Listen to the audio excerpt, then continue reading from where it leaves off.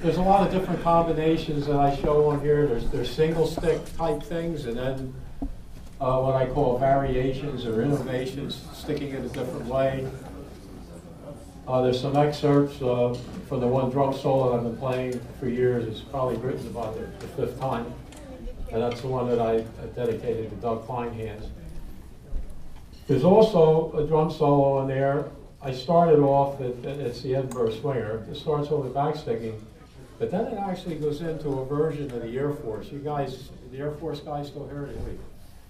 Uh, you get a kick out of this because you're going to hear renditions of the old Air Force drum quartet that we did.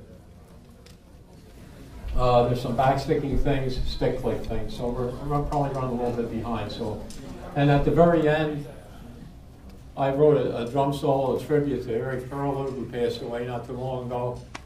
For those that never knew Eric Perilloux, I don't think there's too many that haven't. Uh, been around a long time.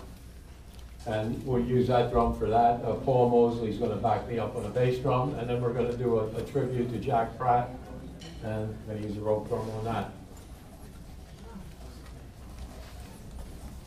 So if you have the music in front of you, you can just uh, uh follow it and look at uh, the first page.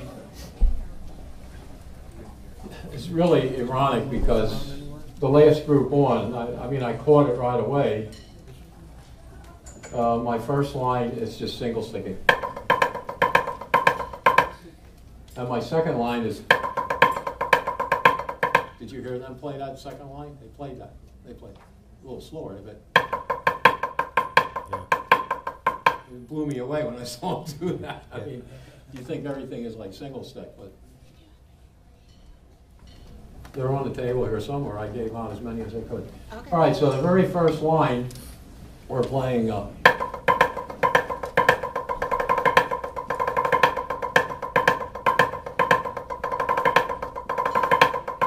We take the bottom line, we have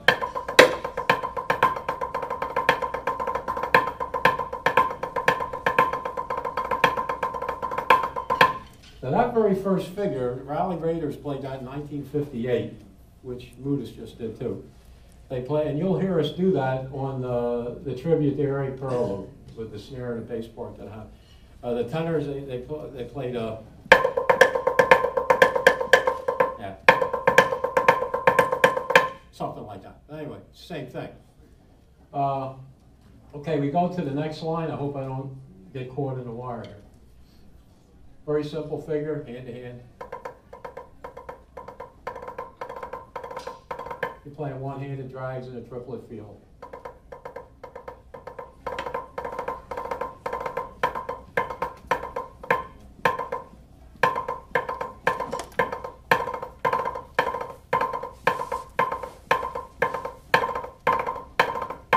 So you're playing them, you're doubling, you're ending like a diddle. The next thing, uh, the third line down, I'm going, if I'm going too fast for you, stop me, but I think we're going to run out of time here. A drag paradiddle, but a single stick. Underneath it is a drag paradiddle, and I have innovation. That's the wrong word there. It should be traditional. Yeah.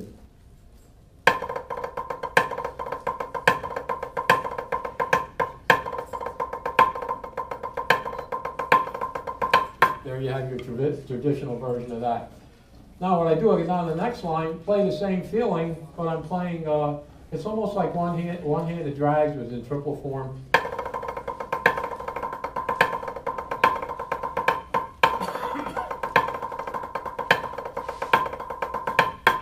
Catch that? Catch sticking with that? Okay. Uh, we get down to the next line. It's actually a flam rough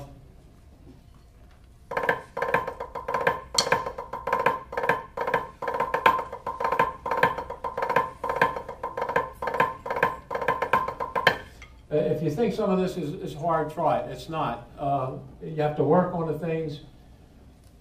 The, the thing I find when I do one-handed roughs and things, I really close the things up. You have to really buzz it in there to get it in. You can't play these things too open.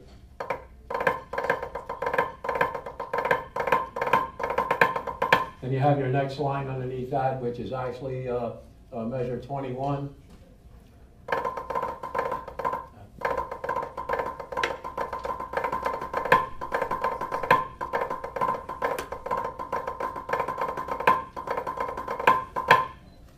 We drop down to the last line.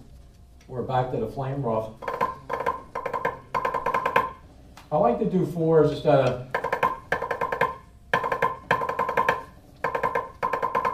It's almost like an open roll, but it's in triplet form.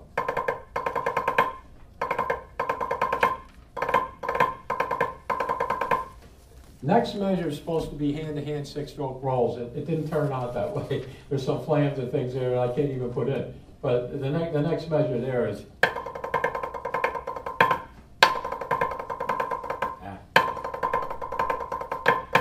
So it's top flam one unit. So you got.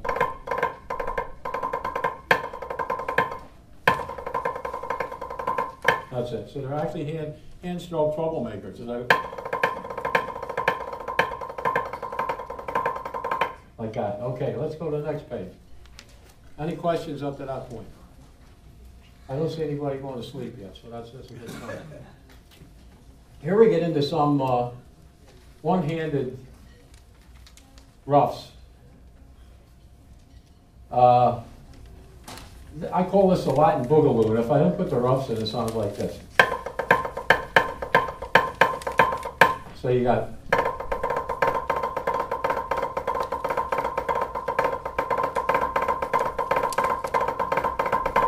just have a little bit of a Latin flavor to it. Uh, the next now you're getting into your, your one-handed rough figures. And what that is, you play it one way and just reverse it. You go back to the other way.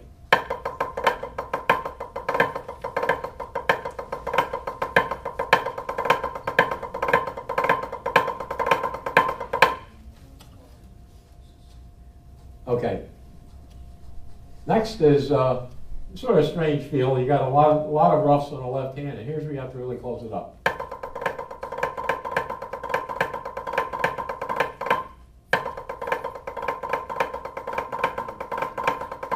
And you can still bring that left hand up. It, it sort of has a little bit of a visual effect to it. I I had it in one of the solos years ago I played, and I emphasized it and keep the other beats done.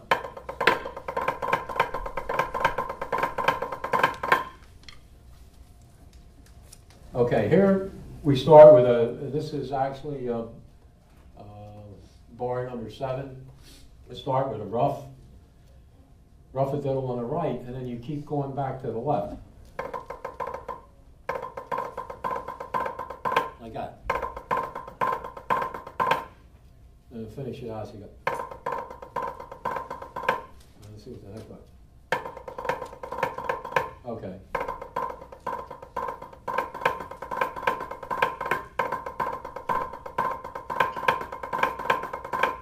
Primarily, everything is, it's all on the left hand, in that type of figure there. We go down and we play the six, six tuplets with the rough in it, with diddles.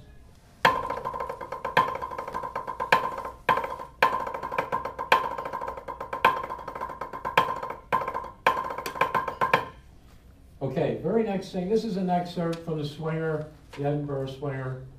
It's actually the beginning of the solo. And then uh, when I get down to 1920, the release, uh, the downbeat of 21, I'm going to keep going with a part that you don't have there. And then the Air Force uh, drum solo thing starts at 22, the feeling, the feeling of the solo. Uh, the Air Force drum quartet 1958, we were one of the first ones they had, and several people in the room were in it also. Uh, it was a very unique thing, uh, and John Dallin, we can give most of the credit for that, I think. But members in the drum line made up a lot of their own things too. We came up with this backsticking, one of the first corps probably do backsticking, but we didn't invent it. You know, we thought we did, but there's probably some caveman walking around and invented backsticking. So you never take credit for inventing something. There's always somebody else that probably did it before you did. But uh, I think Dallin was very innovative there because he came out with a book in 1958 or 59 on backsticking. Well, nobody else had anything like that. There was a, actually was a published uh, manual on how to backstick. So we uh, we went in. Uh, we used to go in drum quartets. We couldn't go in as the Air Force because I wouldn't make it they wouldn't allow us. So we used to go in. I don't know how we competed against Blessed Sacrament because I thought we were we were older than that, right? I know I was 21. But anyway, we went in and we competed against BS and we knocked the socks off of them. And uh, they saw us. They saw us playing this back sticking. So they went to Bobby Thompson and they said this was Nardelli and all those guys. We want a back stick. He said, No way. This is Bobby. You know. Well, I got to the point where they ended up being the first court at back stick on the field, plus the Sacramento Junior Court, because it was either a point of Bobby letting them do it or they're going to walk out. That's the story I got. So, uh, okay, this starts. Uh,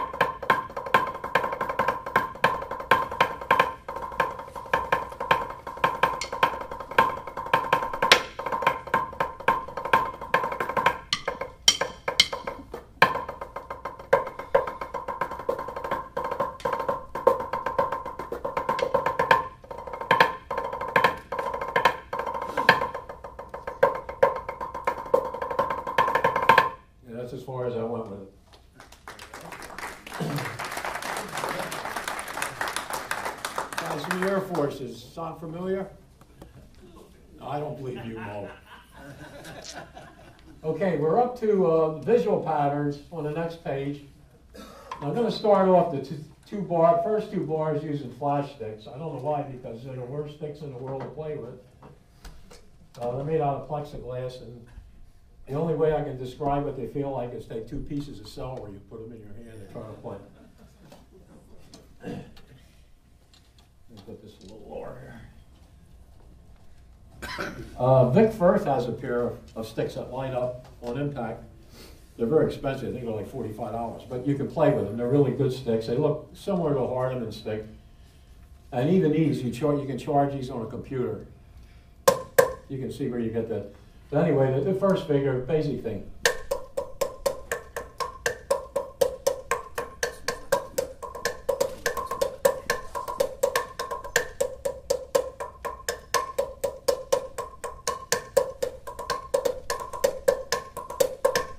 And if you think they sound bad on a pad, you should hear them on a drum. It's really bad. Uh, next figure I'll try, because as I get more involved, I can't really play with these. You have no constant.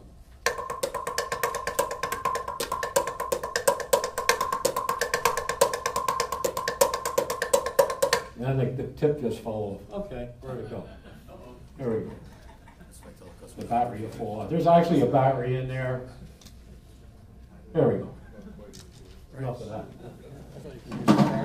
I judged a, an indoor drum show last week. It's uh, they have them every weekend. In fact, the championship I think is two weeks from now down in Wildwood. It's a tournament of bands. And this one line came out, and I saw them before. Really never had a really good drum line. Well, they come out, and they had LED lights on their drums, but they weren't lit. All the snares had them around here. Bass drums had them around here. The tenors like quads or quints, whatever they use, had them around there. And one impact in the beginning of the show, these things went on. And the show was called Blue, and they were bright blue LED lights. And it blew me away. I don't know, I just said, wow, that's really neat. Well, the next thing, and they had a good drum line too. It wasn't just that's all they had. And the next thing I know, the lights went out. I thought, well, how the hell did they do that? So they're playing, they go around, and then, then they do, they march on the gym floor. They do a regular drill. So they're going around here, and as the line, the snares and tenors turn around this way, the lights are on. And I asked the instructor, how do you do that? And they had a little, each drummer had a switch, and they just went like that, hit it. So it's pretty cool. okay. Uh, we're actually at uh, the third line under visual patterns.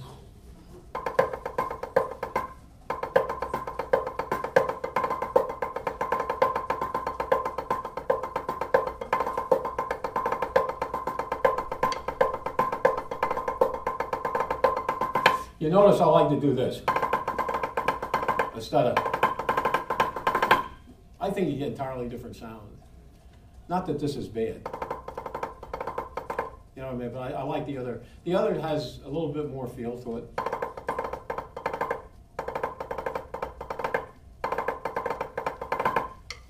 So hopefully you can take these things home with you. Don't. If I find them in the trash cans where I'm going, I'm not going to come back next year.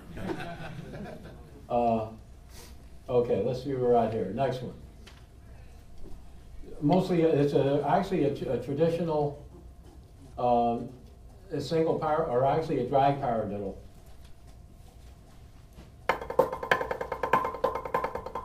Let's see what the second measure is here.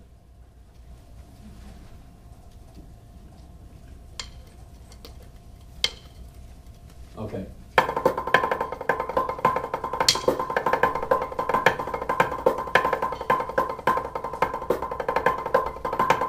That's pretty straight on. You see a lot of chords been doing that for years. Okay, next one.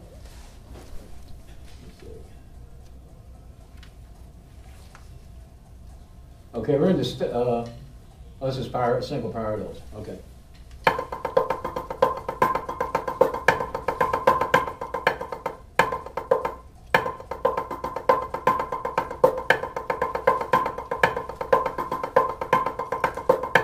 I'm playing single power paradiddles, I'm playing triple paradiddles. I'm back sticking some of the accents.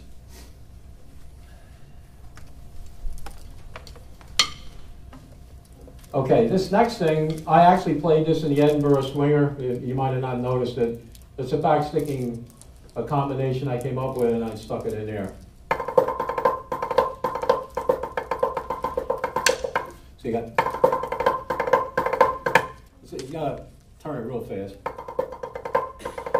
And one thing you might notice about my backsticking, I do this. Most of the guys, did we do that in the Air Force? Everybody? Was I the only guy? Uh, when Blessed Sacrament started to doing it, and I guess Bobby said this is the only way you're going to do it, it was like that. To me, that's work. I like to. Well, what I'm doing, I'm actually twirling. And I'm actually opening and closing and opening and closing. I can stay lower to the drum. To me, it's more comfortable. So you got.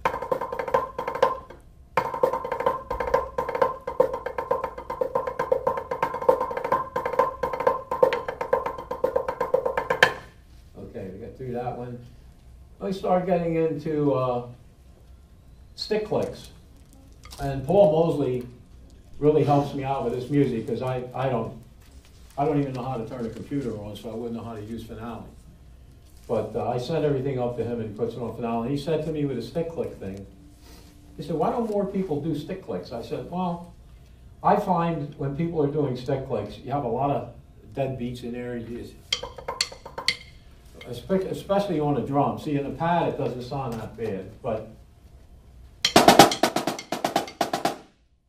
So what I do, if I write a counterpart to it, I'll have uh, maybe the bass drum playing uh, check patterns on the rim as the snares do it, or some counterpoint to back up those empty beats when you're clicking the stick. But it, it, is a, it is a nice sound. I think visually, it, it looks fairly nice. Uh, let me see if I got the right one here. Yeah.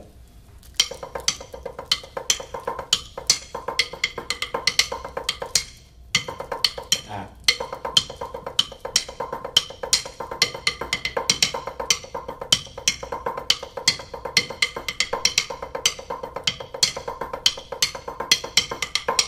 So you got a little bit, it would be nice if you had flash sticks to do that. That, that would look pretty cool. Uh, next thing, it's actually a, a stick click and a flam. It's sort of, sort of weird. Yeah.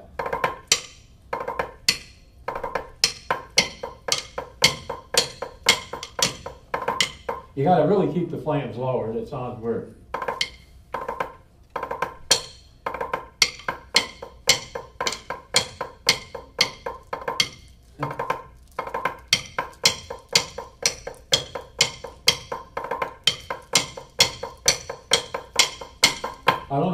Up with that. I must have had a bad day, but uh, uh, Okay, here we have some more stick clicks. Some of this stuff I might not end up playing on the end because I couldn't figure out the way I wrote it. But uh, I think the very last line, but uh, let's see.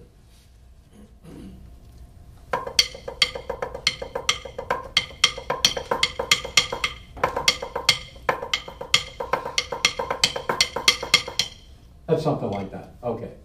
And then in the last part, I, there's no end to what you can do with stick clicks. You can, uh, and you're, you're playing standard rudiments, really. You play paradiddles, uh, uh, single, triple, double, but you just get a different sound on it. Uh, next thing we go, uh, page four, uh, have favor the right hand. So what you're doing, you're, you're playing a lot of right hand things. We're going to get into some right hand drags, like drag paradiddles, but everything's on the right hand. So we start this first line, basic thing.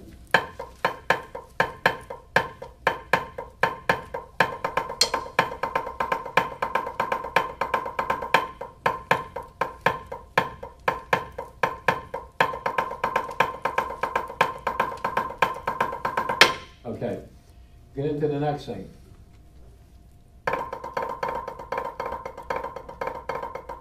Ah.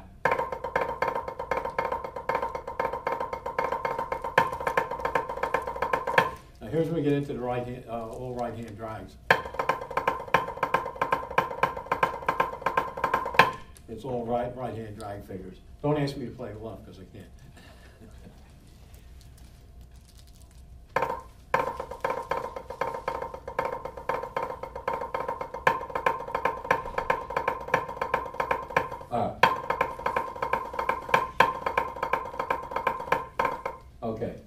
You get into the next figure, now we're back into these uh, sixteen note triplets, dotted uh, thirty second notes.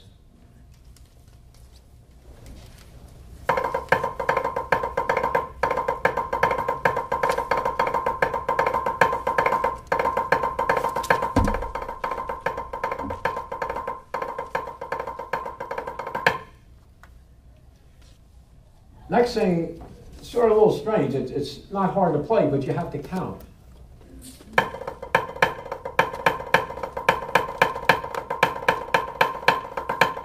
So you got one to five.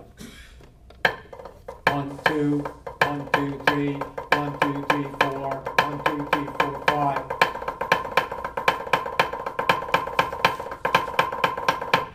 I thought that was a little odd. That's good for probably a coordination exercise. You're trying to warm up a line, get everybody on the same page. I notice on like exercises, like I try to do, is wake everybody up, particularly if, well, not just a competitive corps, even a uh, alumni corps. Uh, when everybody starts warming up, they haven't even had the sticks in their hand.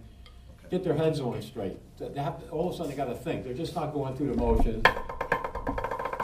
You know, they're not doing that. So you get into some oddball things. It, maybe you don't get real difficult to start with, but uh, as, as you get into it, you do that. Okay.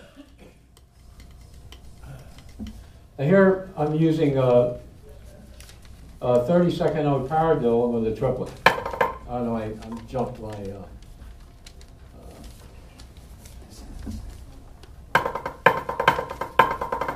I jumped the line, so I'm actually at 14.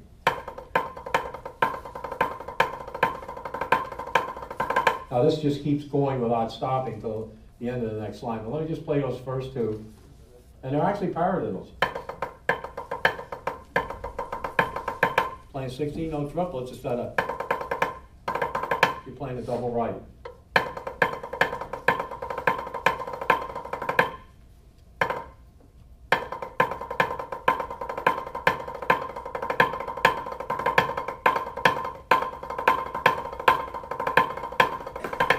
The next next figure you have are actually 30 second notes.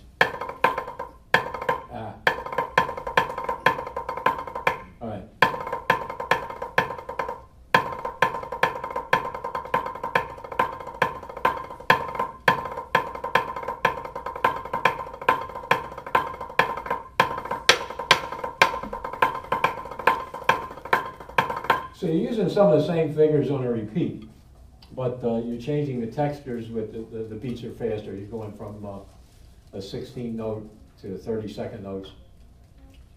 These next two bars wrote a long time ago for an exercise. Just uh, the time signature changes. You start 5 8, 7 8, 5 8, 3 4. Now the three four bar is written wrong. It's supposed to just be Swiss Army triplets.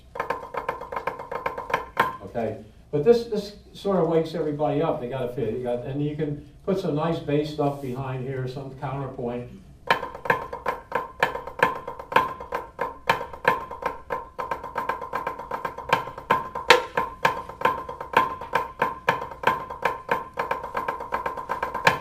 Okay, we get over to the last page. I like to play things uh, inverted uh, flame parallels, that kind of thing, and that, that's basically what this is. You got.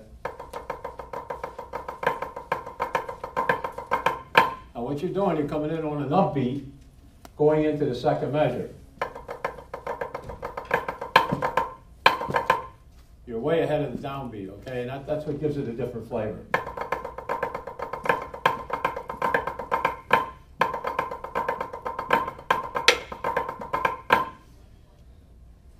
Next beat, next uh, line, which is uh, 24. Okay,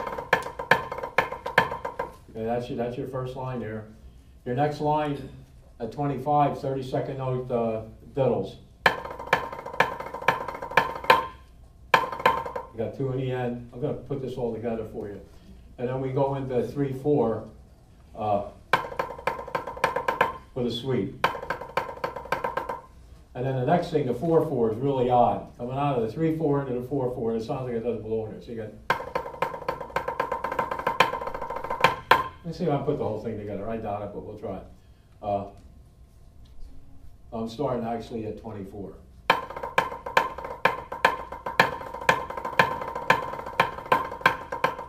Now see, I got into the wrong field.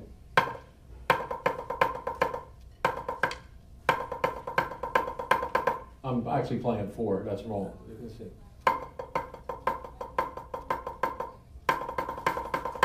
There we go, you got that, the triple feel.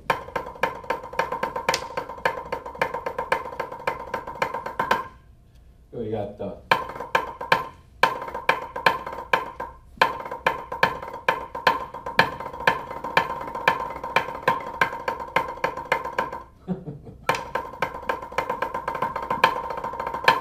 think I got it right the last time. Okay, that's the end of that. You should have a, a tribute to uh, Eric Perilloux and uh, John Pratt. If you don't have a part, I have some extra parts. It should be in the back of your part. But I have some loose parts here if anybody needs it.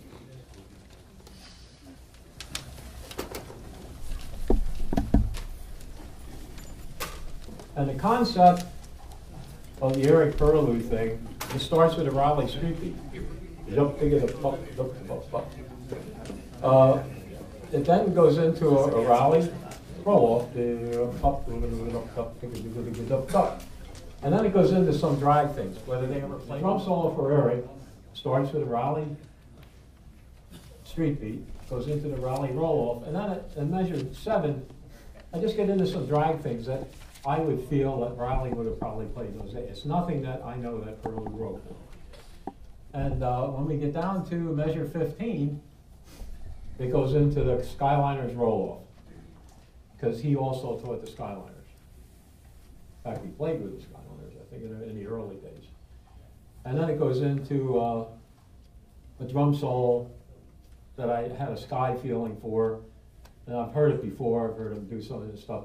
And then when you get to actually measure a, a 25, or 23 rather, it actually starts, I don't know what the name of the song was, but it's a song that the Skyliners play. So let's try this, uh, let's try this sky thing, okay?